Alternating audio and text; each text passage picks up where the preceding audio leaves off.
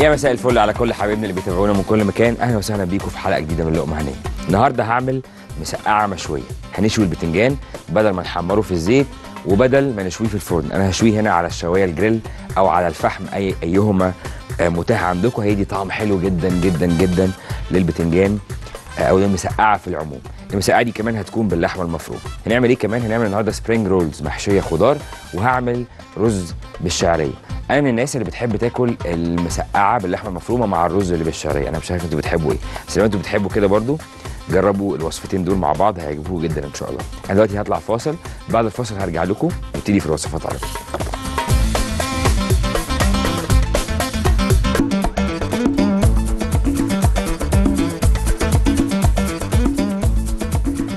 يا أهلا وسهلا بيكم مرة تانية رجعنا من الفاصل.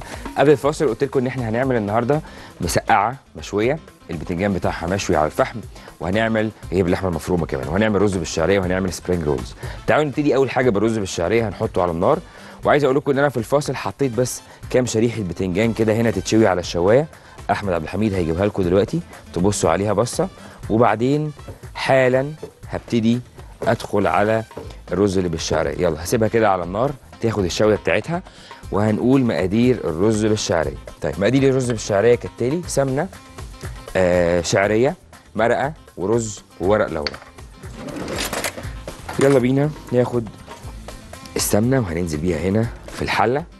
استنى كده بس السمنة تسيح كويس وبعدين نحمص بقى الشعرية. تحميص الشعرية هو اللي بيدي طعم حلو للرز بالشعرية. ف بس برضه في نفس الوقت ما, تحمصوش الشعرية زيادة ما تخلوهاش تسود. بس لما بتوصل كده لون ذهبي أو لون بني فاتح كده بيدي طعم حلو جدا. لوصفة الرز بالشعرية. طيب السمنة هنا. ده ورق لورا معانا آه بالظبط. الله ينور عليك. طيب السمنة بتسيح أهي وإحنا معليين درجة الحرارة على آه الحلة اللي محطوطة دي وعندي هنا الشعرية. آه لما تيجوا تحمصوا الشعرية ما تحطوش الشعرية والسمنة سخنة قوي. حطوها وهي متوسطة علشان تاخد وقتها في إن هي تلون براحتها. لأن لو حطيناها وهي سخنة جدا هتلسع بسرعة من غير ما الشعرية تلون كويس. فدي نصيحتي ليكم في الرز بالشعرية. تقليب كده مستمر وهو ده سر النجاح بقى رز الشعريه أو تحميص الشعرية إن إحنا ما نبطلش تقليب. يعني نفضل نقلب كده لغاية ما نوصل للون اللي إحنا عايزينه.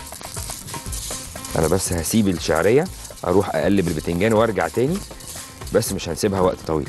يلا نرجع تاني هنا للبتنجان نديله تقليبة مش عايزه يتهري عايزه يفضل كده محافظ على القوام بتاعه. أنا بس عايزه ياخد ريحة الشوي مش أكتر من كده. زي الفل. هجيب طبق عشان أطلع فيه البتنجان ده وأحط فيه بقية البتنجان. هاجي هنا كده أطلع البتنجان وأروح أكمل تقليب الرز بالشعرية. يلا خلي ده هنا كده جنبي. أرجع للشعرية تاني ونقلب فيها. اسيبها كده اسيبها برضو تاخد لون تاني.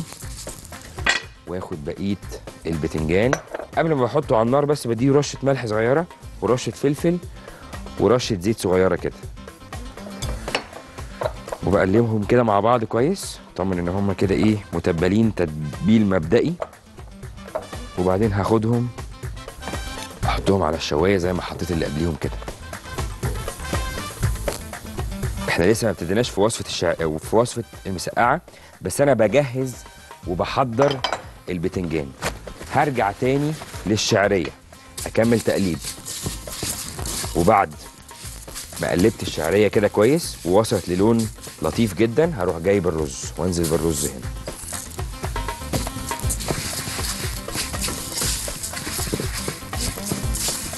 وادي تقليبة كده. وبعدين هحط شوية ملح صغيرين عشان لسه هحط مرقة. وشوية فلفل معقولين. تقليبة كده لطيفة. وهاجي هنا أنزل بالمرقة الأول وبعدين ورق اللورا.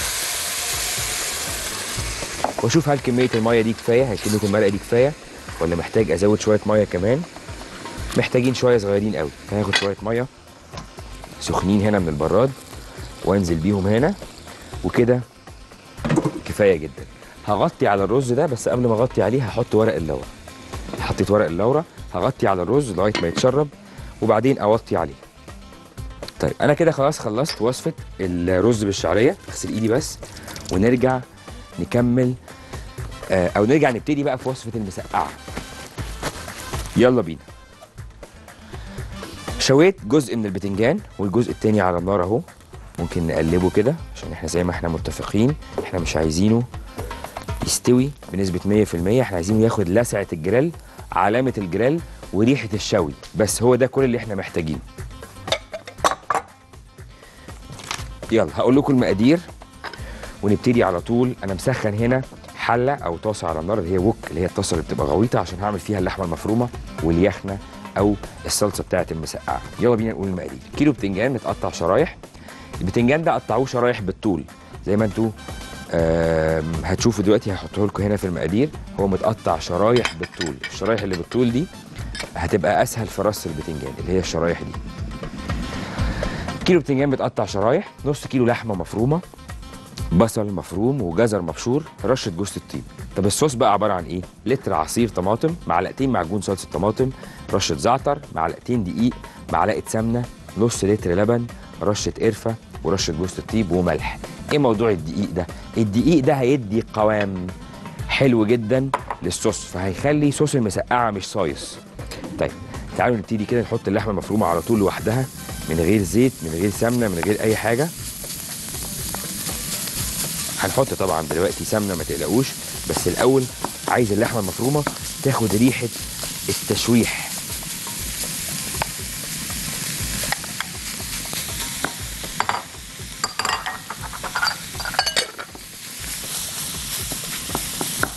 أنا معلي طبعا. درجة الحرارة عليها كويس.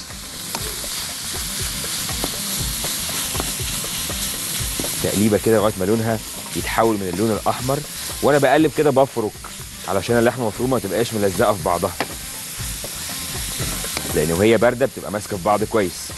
ولو سبتها كده هتبقى عاملة زي الكفتة. فلازم كده إيه بالمعلقة الخشب كده بس بفركها. وهي على النار كده قبل ما أحط لها اي حاجة تاني هاخد رشة الملح ورشة الفلفل الأسود ومش كده بس كمان هاخد جوز الطيب واحطها هنا ورشة القرفة كمان. واكمل بقية جوز الطيب بتاعت الوصفة. واديها كده إيه تقليبة ملح وفلفل وجوز الطيب وقرفة. نكهات هتبقى حلوة جدا هتبقى لايقة جدا على المسقعة. لما لونها بقى خلاص يبقى كله رمادي كده زي ما إحنا بدأنا نشوف. هطلعها بره واشوح مكانها البصل. بس لازم أروح اشقر على البتنجان اللي على النار ده. يلا البتنجان بقى زي الفل. معظمه خد لون حلو جدا زي ما أنتم شايفين كده. أروح جايب البتنجان ده وأروح مطلعه هنا في نفس الطبق.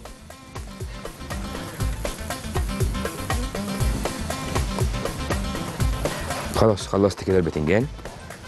هخلي البتنجان هنا جنبي. أرجع تاني اللحمه المفرومة. أديها تقليبة أخيرة. ليه بنقول أخيرة؟ عشان أنا هطلعها حالا دلوقتي. من على النار وأحط مكانها تشويحة الصوص. هجيب لها بس طبق كده لطيف. يا سلام لو كان غويط كمان يبقى أحسن. أو لو مش غويط يبقى واسع عشان يحتوي كمية اللحمة المفرومة كلها. يلا هاخد اللحمة المفرومة وانزلها هنا في الطبق ده. بعد ما خدت لون رمادي كده بدل اللون الأحمر الأساسي بتاعها. مكانها بقى من غير ما انضف الحلة دي. هنبص مع بعض. مكانها هحط بقى السمنة اللي أنا ما حطيتهاش من البداية اللي أنا ما كنتش محتاجها في تشويح اللحمة المفرومة نفسها. خلي جنبي هنا البصل والجزر معجون صلصة الطماطم وصلصة الطماطم نفسها.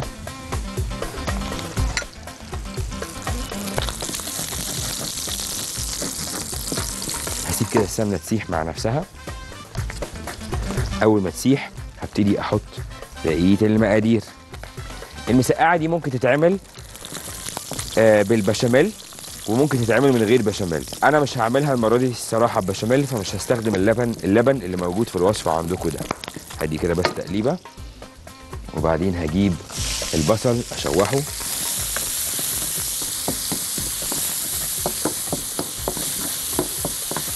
ياخد كده بس إيه لون وياخد تشويحة معاه رشة ملح. رشة فلفل أسود كمان تقليب وبعدين هجيب الجزر هنزل بيه هنا. رشة الزعتر تقليب نعمل صوص طماطم جميل. هننزل فيه اللحمة المفرومة فهيبقى يتحول من صوص طماطم لصوص آه طماطم باللحمة المفرومة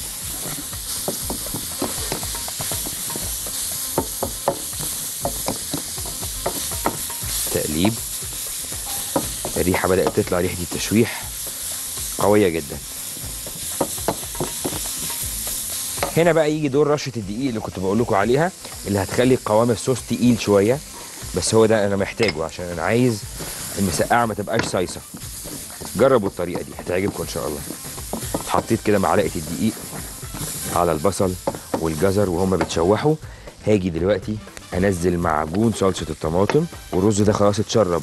محتاج أوطي عليه فهنوطي عليه حالا دلوقتي. خلي على على على أقل درجة حرارة ممكنة. حطيت خلاص معجون صلصة الطماطم تقليب وبعدين هجيب صلصة الطماطم نفسها. أنزل بيها هنا. هقلب.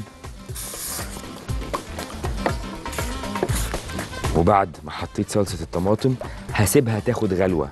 قبل ما أحط اللحمة المفرومة اللي أنا كنت مشوحها. ننزل بس كده كل الحاجات اللي على الجوانب هنا. محتاجين نتبل بالملح فلفل اسود تقليب.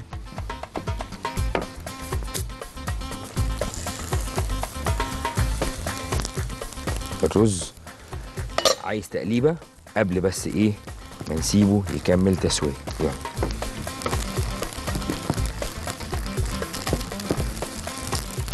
يلا هسيب الرز كده بعد ما قلبت التقليبة دي. يكمل تسويته هنا في حاله. وهقلب صوص الطماطم وممكن أدوقه. أشوف محتاج ملح وفلفل ولا ملح ولا ملحه مظبوط ولا إيه الأخبار. بدأ يغلي الغلوة أهي. محتاج رشة ملح صغيرة جدا.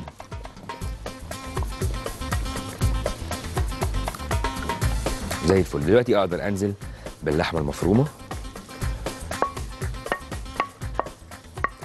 بصوا الصوص أصلا تقيل حتى من قبل ما أحط فيه اللحمة المفرومة. هو ده اللي أنا عايزه. عايزه صوص مسبك كده وتقيل مش عايزه خفيف. أنا كمان هسيبه يأثر شوية. يعني هسيبه على النار شوية كده يأثر على ما أبتدي بقى إيه أرص البتنجان. يلا نطلع دلوقتي فاصل وبعد الفاصل نرجع.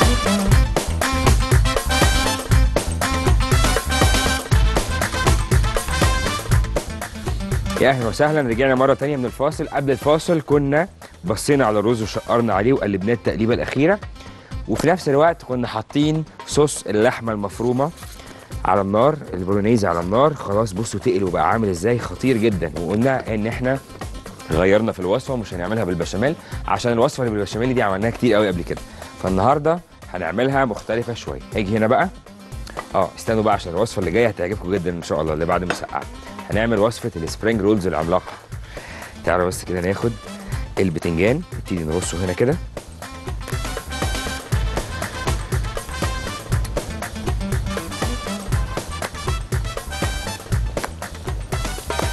حلو جدا كده. تعالوا بس كده نوسع على نفسنا. نحط كده البتنجان هنا. وبعدين هاجي بقى أجيب صوص اللحمة المفرومة. واخد كده منه. نديه تقليبة بس عشان ينزل تقيل زي ما هو. ناخد منه كده وننزل هنا. ريحته غنية جدا.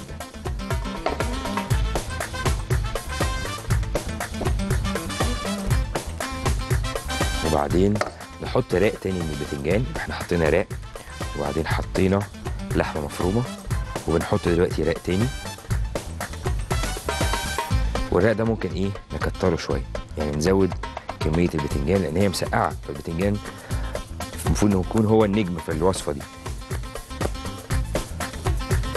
ناخد بقى تعالى ناخد الباقي كله نحطه كده مع بعض وبعدين نفرده.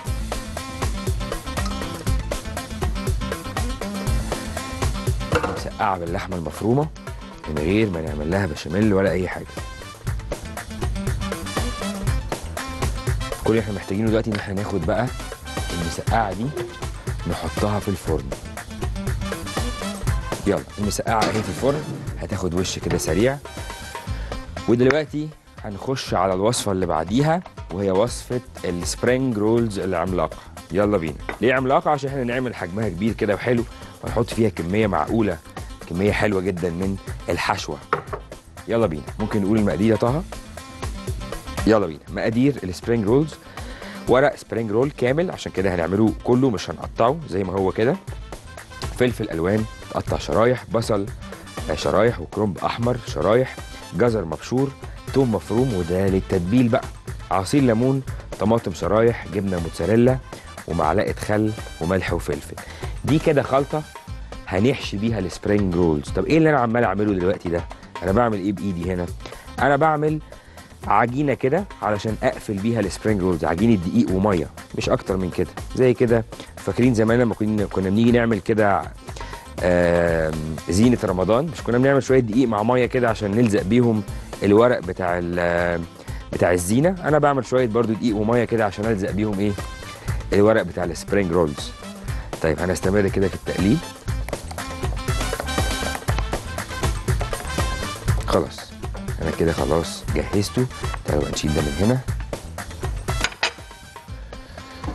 وناخد ننضف بس كده المكان قدامنا عشان إحنا هنفرد الرولز هنا. ونجيب بولة نخلط فيها الخضار ونتبله. هاجي هنا هحط الفلفل واحط الكرنب والبصل والجزر ونخلطهم مع بعض الأول كده لوحدهم. هحط الطماطم. الطماطم بنحط شوية صغيرين علشان الطماطم بتجيب ميتها. فمش عايزين إن هي تخلي ال spring rolls تبوظ. بصي الألوان حلوة إزاي؟ وبعدين هاخد دلوقتي التوم. وبعدين رشة الملح ورشه الفلفل الأسود مش كتير. وبعدين الجبنة الموتزاريلا المبشورة. كل اللي إحنا محتاجين نعمله بس هو ان إحنا نخلط كويس علشان هي دي الحشوة اللي هنحشي بيها ال spring rolls. ناقص إيه؟ ناقص بس كده إيه؟ يعني بق ليمون صغير قوي. جربوا ال spring rolls بالطريقة دي صدقوني هيعجبكم جدا جدا جدا. ممكن يتقدم مع إيه بقى ال spring rolls ده؟ ممكن يتقدم مع soya sauce لو أنتوا حابين. وهو الصراحة مش آسيوي قوي اللي أنا بعمله ده مش هي دي الوصفة الأصلية لل spring rolls أو لحشوة ال spring rolls فممكن تاكلوه مع حاجات تانية مع صوص طماطم مع بقى مع كاتشب مع أي نوع من أنواع الصوصات التانية اللي أنتوا بتحبوها. طيب يلا بينا نجيب طبق هنا نحط فيه الرولز اللي إحنا هنجهزها. قول يا طه. مش سامعك. ماشي يا شيف آه، أمين. يلا. هاخد بقى دلوقتي الورق ده أول ورقة بس نشفت فمش هستخدمها. هاخد بعد كده الورق اللي تحتيها.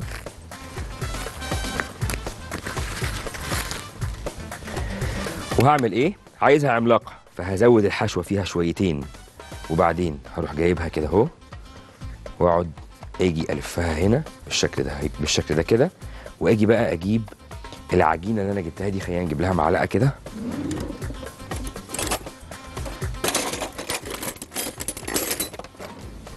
وناخد شوية كده من العجينة بتاعت زينة رمضان دي ونحطها هنا كده ونقفلها ونسيبها عشان العجينة بس إيه تمسك فيها شوية. وهنعمل بقى الموضوع ده كذا مرة مع بعض. ناخد شوية من الخلطة نقفل كده من الجنبين وبعدين نلف ونلم نلم ناخد شوية من العجينة نقفل كده ونسيبها على جنب هنا تلزق.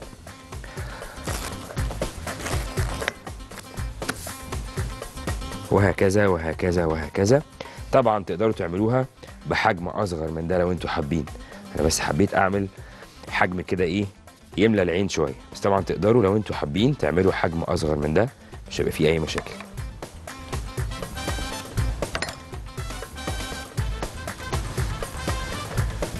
ناخد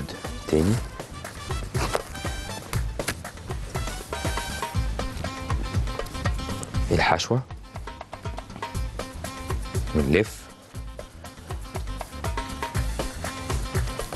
وناخد شوية كده من العجين هنا وهنا نحطه كده طيب أنا كنت محمر واحدتين كده من قبل آه ما ادخل الحلقة أو في وسط الحلقة الصراحة كنت بحمرهم. هطلعهم عشان أحط بقى اللي أنا عاملهم دول. تعالوا نجيب طبق. والله ممكن نجيب طبق التقديم اللي إحنا هنحط فيه ال spring rolls بعد كده. ونحط فيه اللي إحنا مجهزينهم. دول اللي إحنا مجهزينهم ومخلصينهم خلاص. احطهم لكم هنا كده تبصوا عليهم بصة. على ما اكمل أنا بقى إيه واحدتين تلاتة اربعة كمان كده. ال spring rolls دي شهية جدا فأنا هعمل شوية حلوين عشان نقعد نمزمز فيهم كده بعد الحلقة.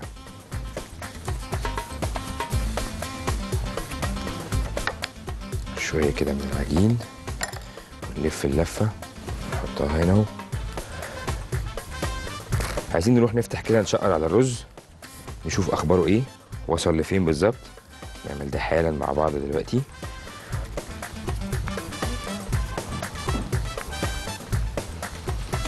يلا هحط هعمل آخر واحدة أهي وهقفلها وأحطها جنب إخواتها هنا. وهعمل إيه بقى دلوقتي؟ هشقر على الرز. على ما نطلع فاصل هنطلع دلوقتي فاصل. بعد الفاصل ده هنرجع. نحمر ال spring rolls وندوقها ونغرف سفرة النهارده استنونا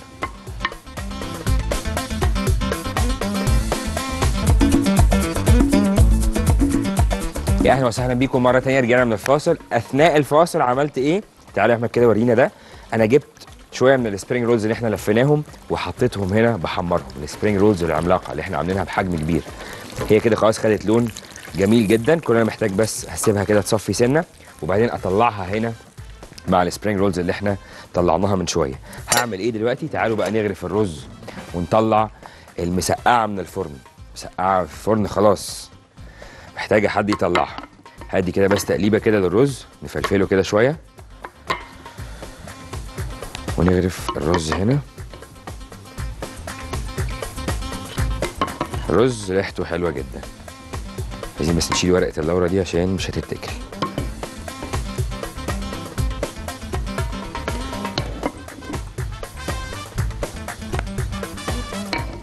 هاخد بقى الطبق ده كده نحطه هنا على السفرة عشان نحطه ورا علشان نبين بقية الحاجات التانية. هاجي هنا تعالوا نطلع بقية ال spring rolls دي.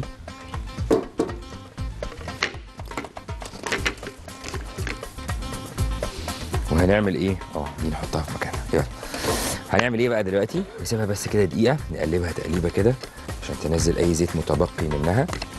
وبعدين ناخد الرولز دي نرصها هنا.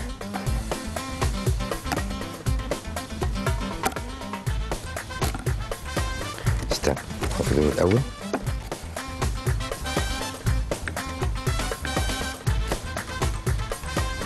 وممكن بقى نحط دول تحتيهم كده نرفعهم سنة عشان يبقوا باينين.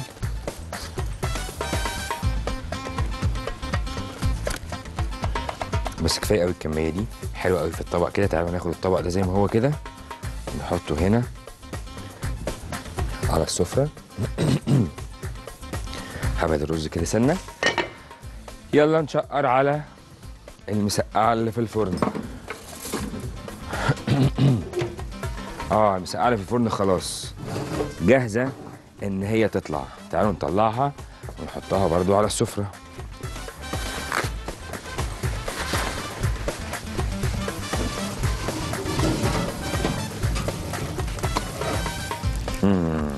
شكلها شهي جدا. يلا نبص على السفرة كده. النهاردة عملنا إيه؟ النهاردة عملنا ثلاث وصفات مختلفين. عملنا آه spring rolls عملاقة حجمها كبير زي ما أنتم شايفينها كده. حطيت جنبيها الكاتشب عشان عايزين تحطوا كاتشب أو حاجة. وعملنا في نفس الوقت آه رز بالشعرية. وعملنا آه مسقعة باللحمة المفرومة بس المسقعة دي البتنجان بتاعها بتنجان مشوي على الفحم. وصفات النهارده كانت بسيطة وكانت سهلة أتمنى إن أنتوا تجربوها. تبعتوا لنا التطبيقات بتاعتكم على صفحة البرنامج لقمه هنيه على فيسبوك. اللي ما شافش الحلقة دي من البداية يقدر يتابعها في الإعادة الساعة 6 صباحا بتوقيت القاهرة. أشوفكم بكرة إن شاء الله في نفس الميعاد.